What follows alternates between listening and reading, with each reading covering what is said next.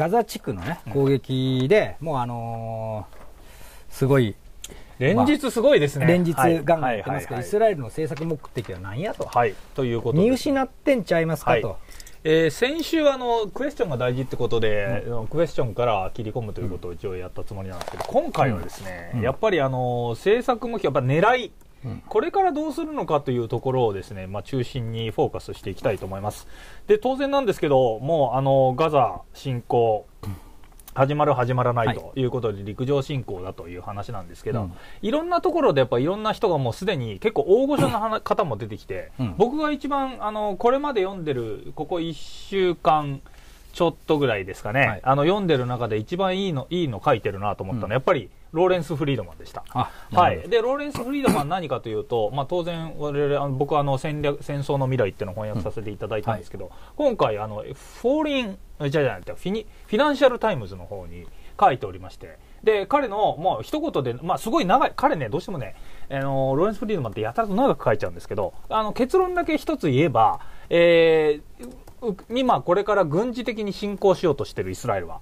ただこれは政治目標と一致しないから失敗するんじゃないかって言ってるんですよ、うん。はい、つまりイスラエルにいい選択肢はないと。これちょっと一つ最後の結論の部分だけ読みますね、えーもし良い選択肢があればすでに試されてるはずだと、うん。えーイスラエルはハマスの脅威に対処するために軍事戦略を立てようとしてるが一方で政治戦略には欠けてる。だから政治レベルで、ポリシーのレベルで間違っちゃってると、はい。で今のところ将来のガザとの共存の道を見出すことは不可能であると。ハマスとの取引は信用されないがハマス排除の確実なルートもないと。はい。袋小路だという話をしてるんですけど、はい。軍事手段と政治目的ってこれ必ず戦略で出てくるはずなんですけど、これが全然一致せずにとにかく今軍事目的だけでやっちゃってるじゃないですか、はい。これやばいんじゃないですかという話。そうですね。ね。で僕はまあ。本当にこれに合意します、はい、要するに、うん。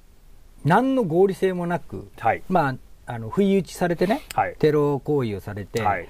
まあ、もともとね、はい。えー最強の情報戦をやってたはずが、はいはいはいはい。えーキャッチすることもできず、でえーまあ自分のね。丸腰のまま撃たれてはい。しまったと。ええええで、ね。人質もさらわれたと。うん。で、それに対して、感情で報復してると。感情ですよね、はい。いや今本当感情なんですよ。結論、感情だったと。だったということです。で、僕あの、いくつかのね、ウェビナーっていうんですかね、あの、カーネギーとあとは AEI のやつとかはちょっと僕見たんですよ。うで、その辺のところで一番いいこと言ってるなと思ったのがですね、エフード・ムえバラク。うんもともと首相ですけどね、あの結構前に首相をやられた方、ネタニヤフの前に、え労働党で首相をやられてた方なんですけど、あのイスラエルの4つの問題点っていうのが、これ今、これから軍事的に戦争するっていうことになってるじゃないですか。で、えっ、と、カーネギー財団のですね、ウェビナーを僕ちょっと見たんですけど、エフード・バラク元首相がですね、いやーやっぱ、まあ、彼もともと軍人でもありますし、こういうことを言ってたんですよ。この4つの問題点。いや、いいこと言ったなと。うん一つ目、うん人質がいるのにどうやって戦うのって話ですよ。はいうんでイスラエルってほら、それまで、えーとにかく人質1人でも取り返すためにだったら、うん100人のハマスの、元ハマスのやつを返すぐらいの、えーとにかく自分たちの仲間、同胞は絶対に助けるっていう、うんえーどんなにあの不利な状況でもなんか返してもらうってやったじゃないですか。うん今回もうすでに100人ぐらいはい行ってて、うんなおかつどこにいるかわからないっていう状況ですよ。はい。これいるのに戦うって今地上戦やるってこれうんできんのって話ですよね。まあでもやるんじゃないですか。こいやの。あのイスラエル国内の方はめちゃめちゃ盛り上がってますよね、はいなのでこのパッション情熱みたいなところはまずやばいところになってますで次2番目、うんまあ、これはそんなに心配しなくてもいいのかなっていうのはアメリカが入ってきてくれたおかげで今、あの地中海で一応牽制してるんですけどレバノンのヒズボラが、レバノンからヒズボラが参戦してくるじゃないですか、それに対してほらん上の北部の方とあと南部のガザっていうところでのはい。二正面作戦になっちゃうんじゃないかと、うん。まあ、これはちょっとん対処できるのっていう、まあ、難問がありますよね。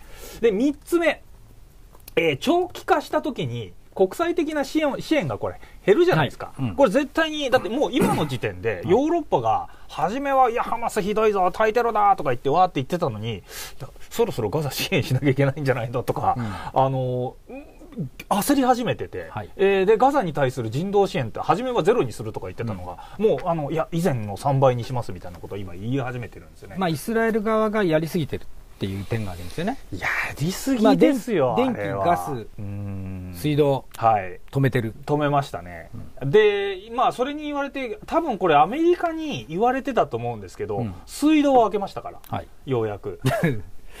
あのね、水はないとね、3日でし、3日持たないですよ。ですよね、はいだから一応水はあの流し始めたっていうのは昨日の情報で出てましたけど、これあの、まあ、おそらくこれから大抵路線的なことをやっていくわけですよ、そうするとあのもうすでにこれ、まあ、小田さんもおっしゃってましたけど、うん。ほらあの国際テレビとか、はい。あの見てるじゃないですか。和田さん BS のやつとか。CNN とか。はい。ああいうのをよく見てる和田さんも。はいずーっとやってるよね。でやってるし、うん。あの意外にあの西洋諸国の中のうん。方からも、はい。いや、さすがにこれイスラエルやっぱりやりすぎじゃないって声が出てますよね。はい、ということでございます。だから、一応やっぱりその支援がえ下がった時に、まあアメリカも一応今、あイスラエルの背中全部バックを取ってるから大丈夫だとい。うふうに言ってますけど、これ支援、あの、今のところはタイトルさんに支持してくれてる声はありますけど、うん。これ、そういう支持がなくなってきたらどうすんのって話ですね。アメリカ国内からうん。も反発で出てくるかもしれないこれ3つ。で、うん最後の4つ目ですよ。はい今、イスラエルのあのは動きとか全部見てると、うん全くそのいハマス潰した後のビジョンが何にもないんですよね。はい。これ最大の問題かなと僕は思ってます。そうですね。いやー、これね、その、だから今、話聞いてると、なんかね、えうイスラエルの戦略家とか呼ばれる人のシンクタンクでやってうん。戦略やってますみたいな人たちも、とりあえずまずハマスを潰してからだと。うん。それは我々が、えーまあ、ヨーロッパがナチスを潰してから、その後にドイツを、うん。なんどはい。どう統治しようかって考え始めたじゃないですか、うん。あれと一緒で、まずはナチス・ドイツを倒すことだみたいな意見になっちゃってるんですけど、いや、えーすぐ隣じゃん、しかもハマスって、はいっていうか自分たちの土地でしょっていうところを考えると、これはなかなかね、うん。あのその先が見えてないっていうのは一番恐ろしいなと僕は思ってます。まあ、あの、ドイツ、まあ、ナチス、ドイツがね、はい。ユダヤ人にやったこと、はい、的な構図にちょっと見えちゃってるんですけどね。あの、あそこに閉じ込めて、はいはい。上から爆撃そうでしてっていうのを見ると、監視で、そう、はい、柵作って壁作ってう。んちょっとあれはどうなんだとはい。いうふうな感じもしますけど。じゃあ、えっ、と、あの、ここもう一回改めて考えてみましょうということです。イスラエルのせこれ今回のこれからの戦争において、はい。まあ、戦争大テロ戦ですかね、えーまあ、政策目標、目指す目標は何っていうところはまず考えたいと思うんですよ。そうすると仮説として出てくるのは、4つぐらいのオプションは一応見えてるのかなということです。で、えーネタニヤフうん。首相、イスラエルの首相はですね、あの、一応ここ、これは言ってますね。うん。ハマスの殲滅であると、はい。うん。デストロイだとはい。言ってますよ。うん。ただこれってう、ん。無理無理じゃないですか。無理ですよね。む無理ですね、無理ですね。なので、定義っていうか、うん。誰がハマスかっていうのは分かりづらいですよまあね。一応、ハマスの戦闘員ってことだけだったら、あそこの中にいる220万人、222万人いるところの1万5000人が2万人っては言われてますけど、うんはい。そんなのピックアップして、ん。ね、あの、あれできるわけでもないです難しいですよね。ですよね、うん。なので、大体じゃあ、軍事的に、まあ、一応言えるのかなと、これも定義難しいですけど、2番目のハマスを無力化するという、はい。まあ、これは武装解除的なところですけど、はい。